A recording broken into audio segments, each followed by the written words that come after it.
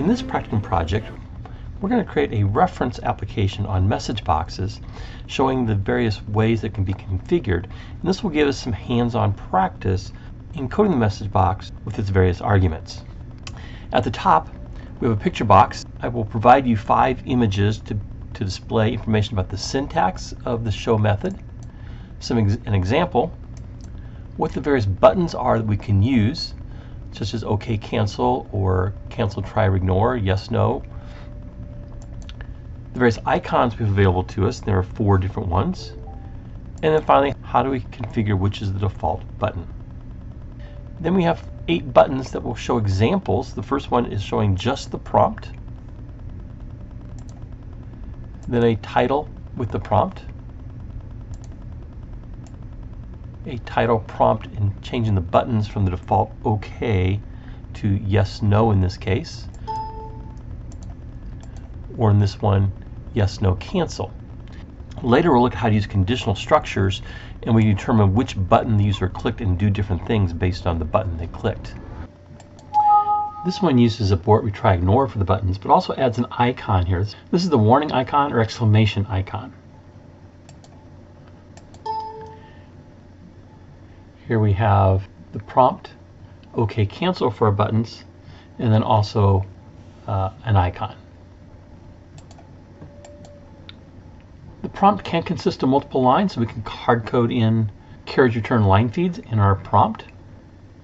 But also notice that the default button here is the cancel button, button 2. Normally be OK, so we specified changing that to button 2. And then this one, we made the third button the default. I would suggest pausing the video here and trying this on your own. If you struggle or just want to compare your version to mine, what follows in this video will be the code review of my solution for this project. For the interface, I start with the form of 800 by 600 in size, give it a text of message box reference, create a label at the top for just information of what this project does, and then I create a picture box. My picture box I named pic reference, so PIC reference, its size is 710 by 250. Set the size mode to normal. For the images, I imported the syntax, the example, the buttons, the icons, and the default. And then set it to the syntax. I create a label just for the word reference and then five buttons these are named BTN1 syntax, BTN2 example, BTN3 buttons, BTN4 icons, and BTN5 default. And I set, set the back color of the first one, the syntax button, to yellow. We're going to change the colors of these, whichever one is selected, showing the picture. So there's a reference, a visual reference to the image and the button that was selected. Then I've got a label for examples and simply eight buttons. BTN message box 1, BTN message box 2, message box 3, and so forth. Last one here is BTN message box 8. And then the text of each of these is set to what we want to display as far as the message box. Let's go in and look at our code. I double clicked each of the reference buttons to create a click event handler for those each of the buttons. And in each one of those, I'm basically doing the same thing. We're going to set pic reference.image to my.resources, in this case for the syntax button is going to be message box 01 syntax. Those are the images that we brought in to our picture box and are listed in the resource folder of our Solution Explorer. Then I'm going to set the back color of the button to yellow and set the back color of the other four to systemcolors.control. In my case, that control is medium gray, but that control color will be based on the user's color scheme that they've set up in their Windows settings. The example button's to be the same thing, except here we're setting the, the image to myresources.messagebox02 example, and we're setting the BTN2 example to back color to yellow and the others to the control color.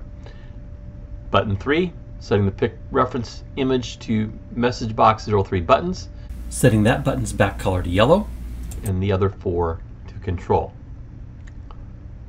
Here are the fourth and fifth buttons for a reference doing the exact same thing, just changing the image and changing the back colors.